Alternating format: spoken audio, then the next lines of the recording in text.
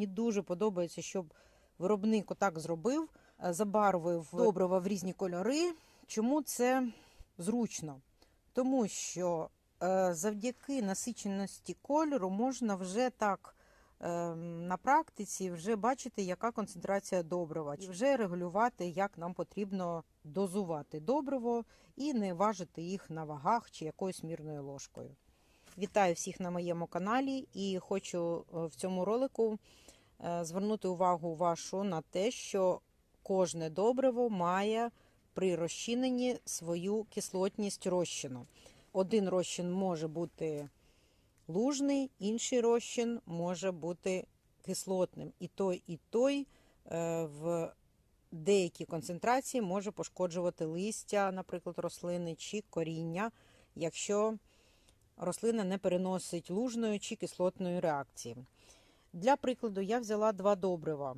Перше добриво, яке я завжди використовую для пеларгонії, це видно, що воно таке вже бувале.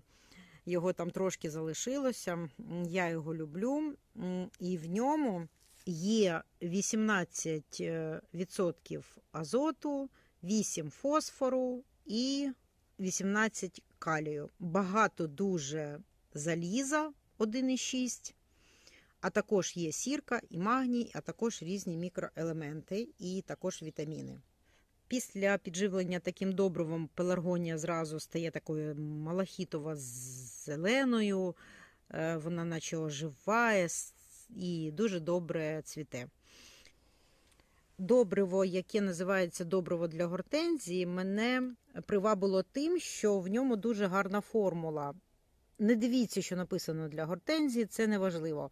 Дивимося на формулу: 12 азоту, фосфору 10, а калію в два рази більше, ніж азоту.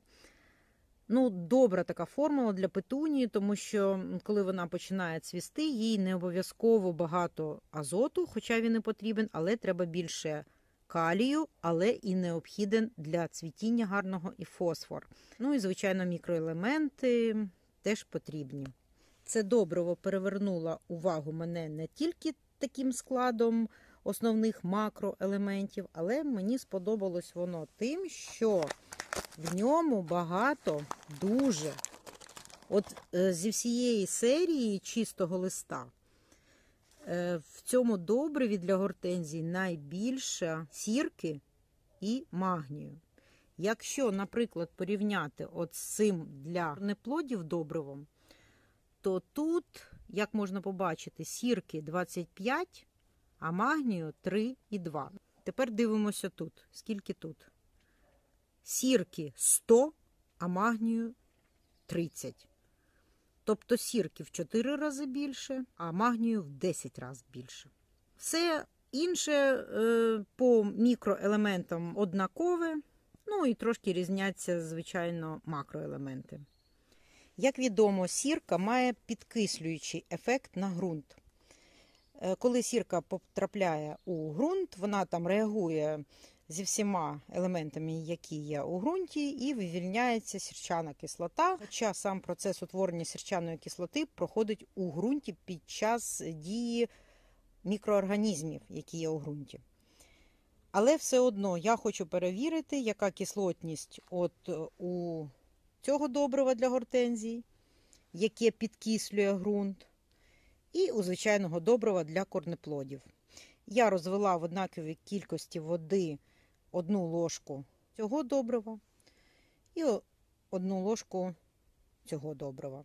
І зараз за допомогою приладу виміряємо кислотність. Але спочатку, щоб вже знати, як там відхиляється ця кислотність, е, звичайно, спочатку замірюємо звичайну ту воду, яку я брала. І бачимо, що кислотність води майже 7. Тепер давайте подивимося, яка кислотність у розчину з добрива для корнеплодів, в якому вміст сірки 25. Ось я поставила. Дивіться, трошки менше 5. Тобто, ось чому подобається пеларгонії таке добриво, бо воно нормалізує кислотність води. І пеларгонія любить трошки таку підкислену воду і підкислений ґрунт, тоді вона така малахітова, знов таки кажу, зелена така і добре цвіте. Тепер давайте подивимось, яка кислотність у розчину з добрива для гортензії, в якому сірки 100. А от в ньому тільки 6.